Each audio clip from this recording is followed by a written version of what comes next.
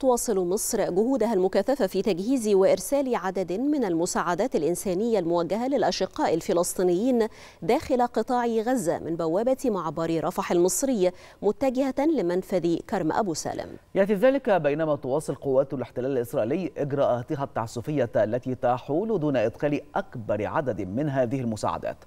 المزيد من التفاصيل مع الزميل محمد الخطيب مراسل التلفزيون المصري.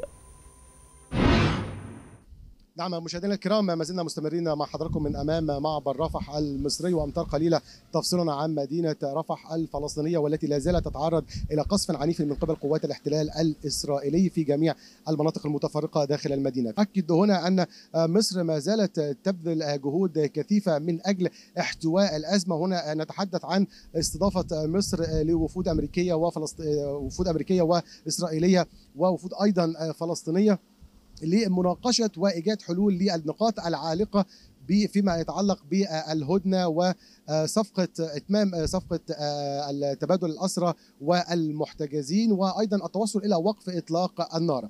على المستوى الميداني فيما وصل إلينا من بيانات في هيئة المعابر والحدود فنحن نؤكد أن ما عبر اليوم من معبر رفح متجه إلى معبر كرم أبو سالم. نتحدث عن 32 شاحنة 25 منها فرغت حمولتها واثنين من المساعدات الطبية عادت مرة أخرى إلى الجانب المصري.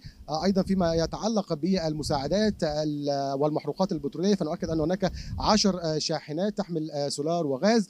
اثنين منهم فقط هما فرغت حمولتها ولا نعلم إذا كان الثمانيه الباقيين بالفعل تم تفريغ حمولتها أم لا. يمكن هذا هو المشهد لدينا اليوم من أمام معبر رفح البري. ونعود إليكم مرة أخرى في الاستوديو.